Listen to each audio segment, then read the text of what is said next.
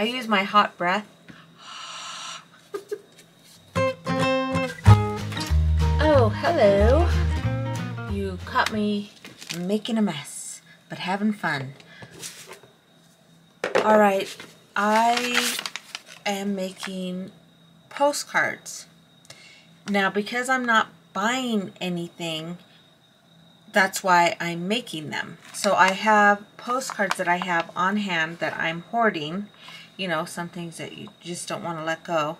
So I just made copies on my printer because I do have black ink.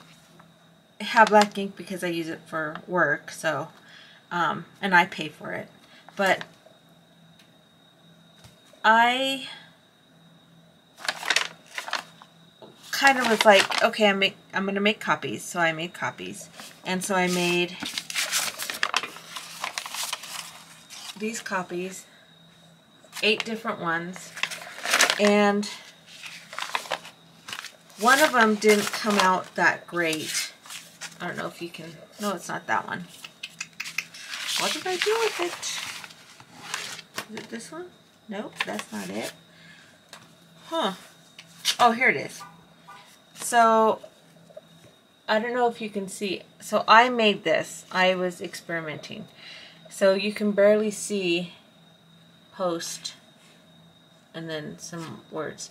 Because I did it on some coffee dyed paper.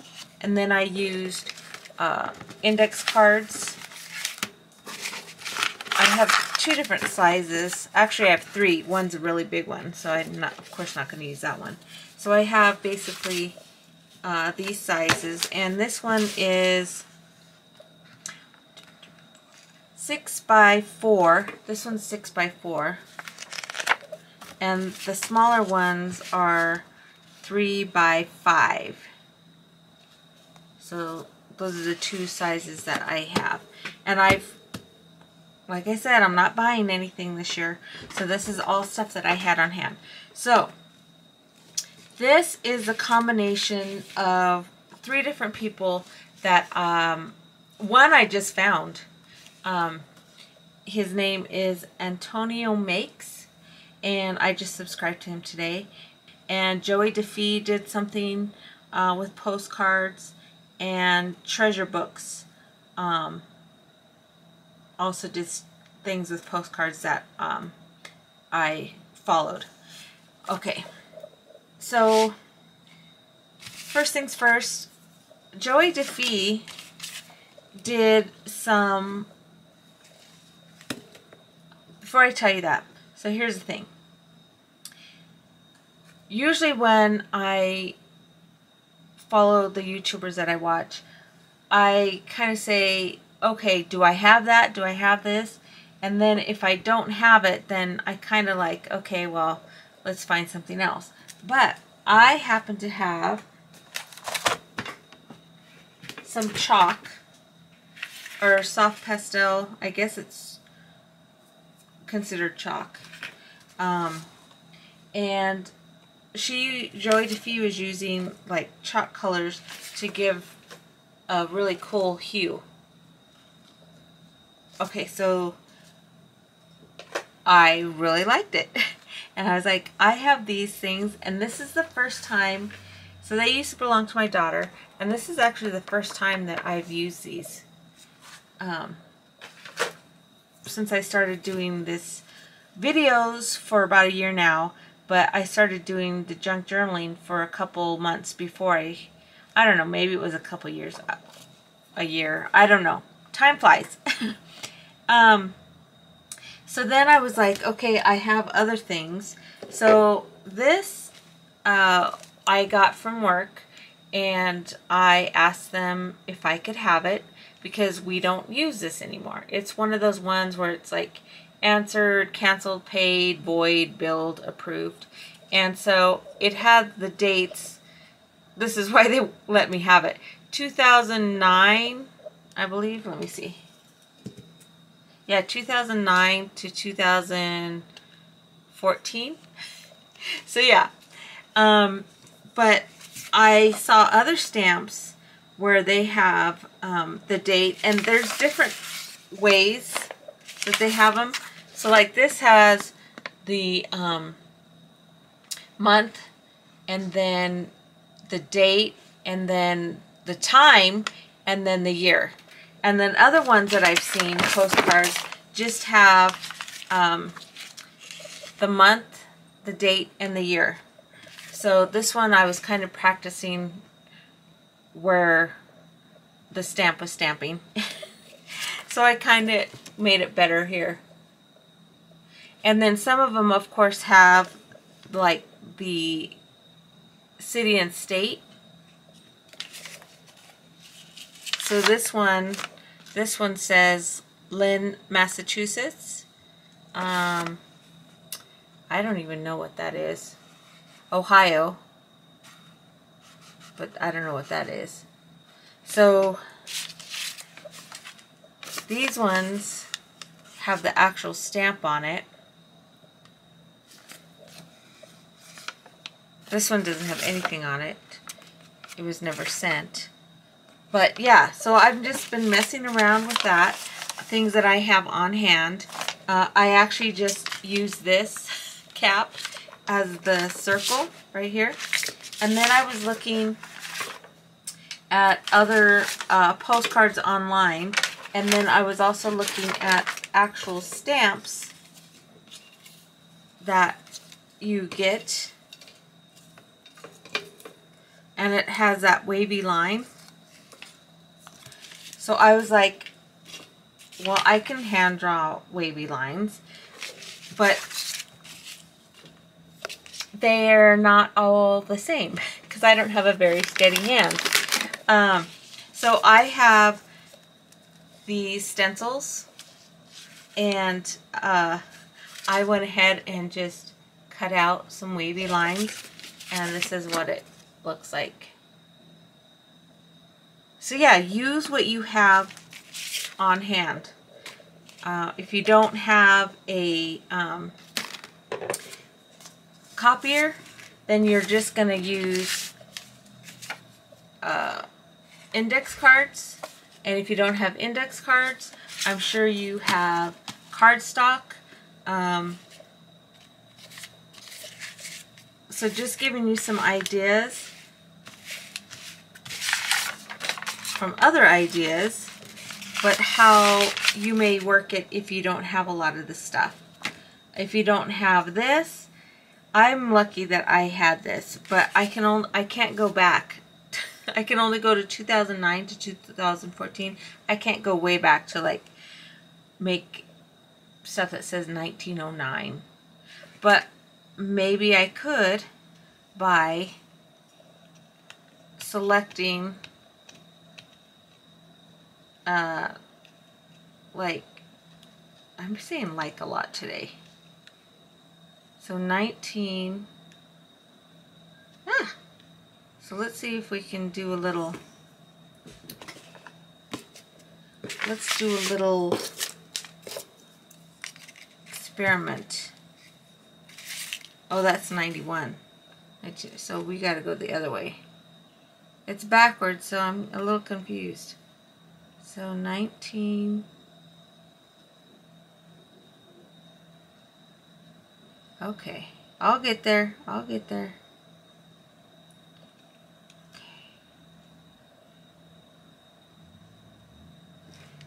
I'm just checking this out real quick.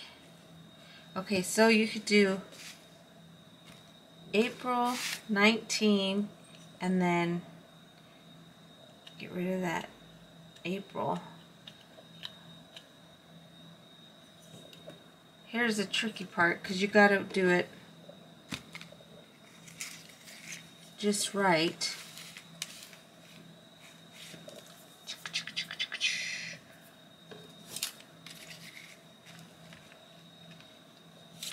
Nineteen.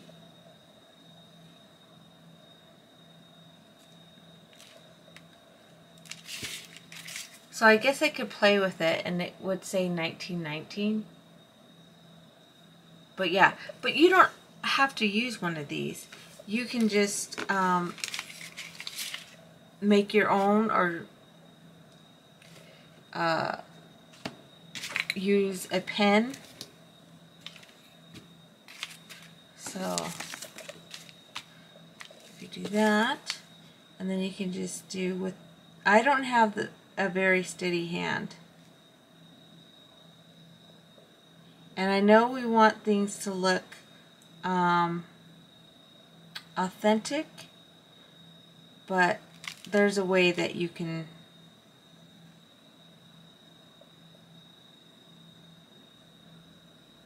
get over that um, get just get over that it's not going to be authentic. I mean, it is what it is. uh, let's see. Oops. This is where a drafting class would be very helpful.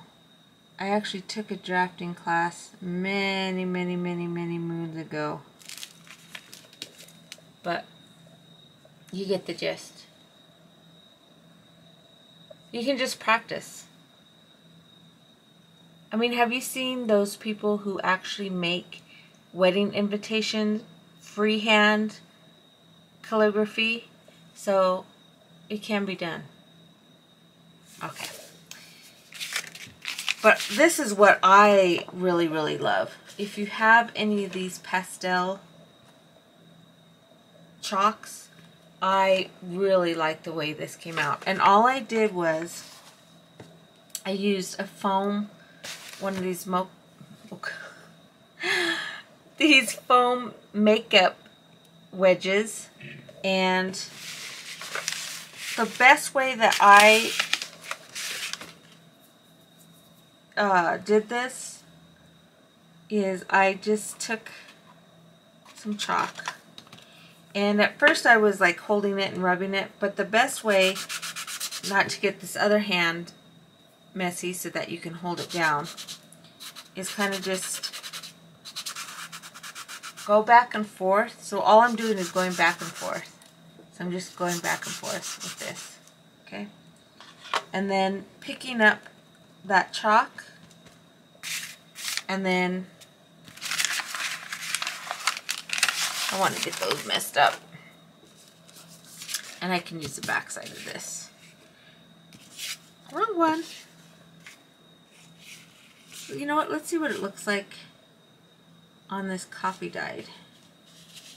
And just kind of circular motions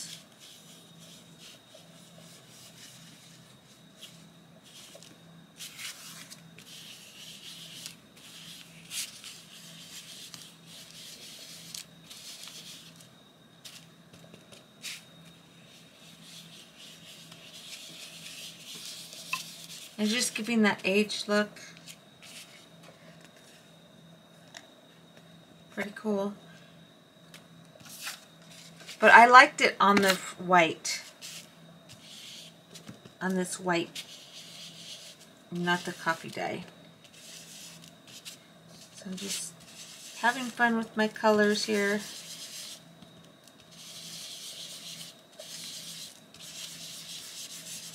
And then maybe um, some yellow. Just take it like that. Grab it, and then add your yellow.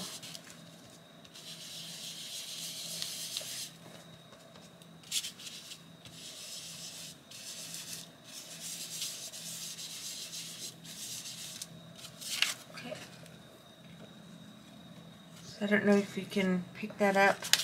But you can do it as dark as you want or as light as you want. Let's add, I wonder if we add, don't know what color this is. It's like a gray. Let's see what happens. Just play around.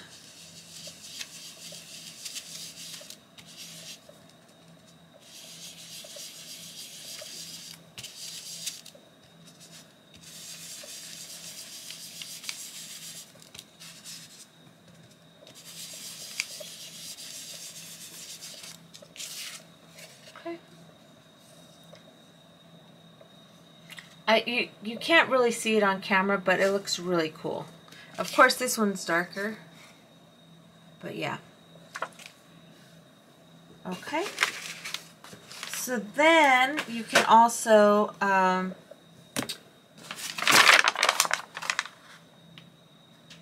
add your stamps. And I do have a few stamps that I keep when I get letters. Like I just got one today. Well, sorry, the other day. But I, I'm usually really good about um, opening up my mail. But for some reason, this one, I was not very nice to it. So, I did not cut it very well. But it'll still work.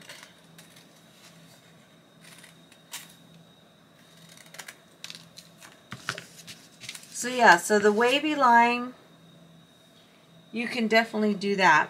Or you can just do it by freehand. Um,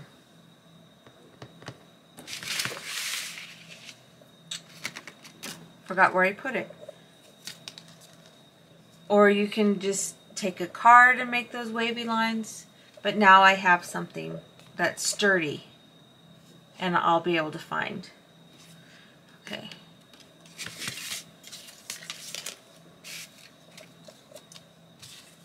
And I also have these stamps. Sometimes I can take these stamps off in one peel.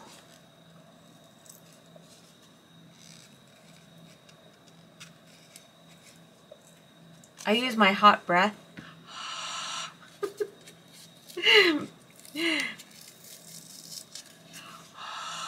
Can you hear that? and it kind of works. just cut around it.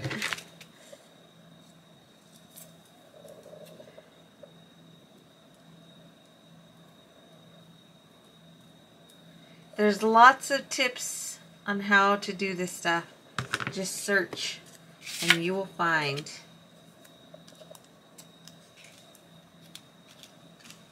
Okay. Now, on the back side of a postcard, you usually have a picture, at least that's the majority of postcards. So, I have been going through my magazines that I have on hand.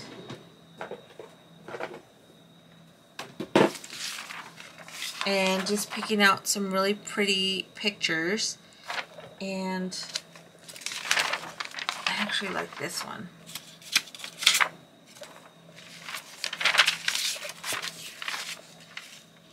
So sometimes I have an issue with finding a good picture here.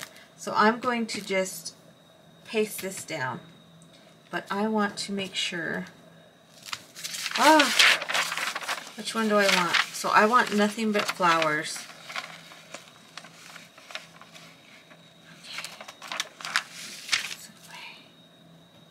Hopefully it goes through.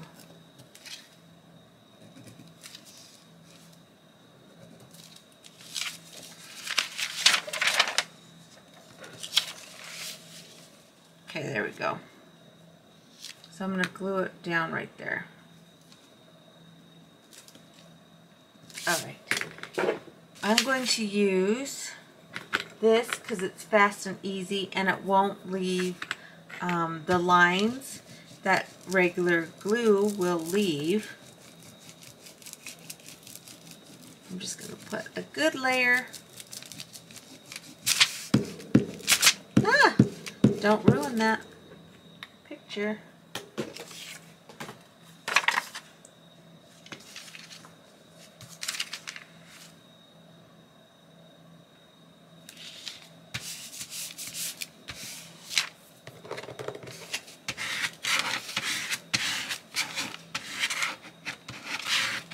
There we go. We're just going to cut it. And we have made one complete postcard in 20 minutes.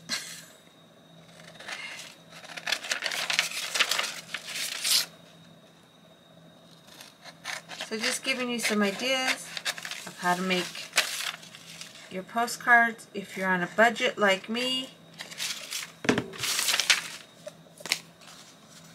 And then you can um, do whatever you want on the back side. Well, that's actually the front. And then here you would leave a note. You could also do, let me just, I know we're running, we're out of time actually, but um, you can also do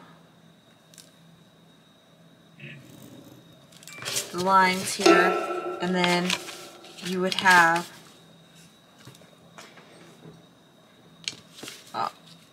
I have a template, I believe, but you have the name. Well, I did it again. I ran out of storage.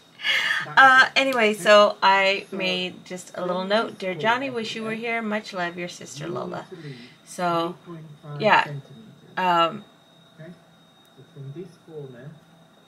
I actually messed up on the other one, so I had to redo the circle. Uh, but it still, still looks good, like a postcard. Alright guys, that's it for today. I just wanted to show you um, that you can use things that are on hand.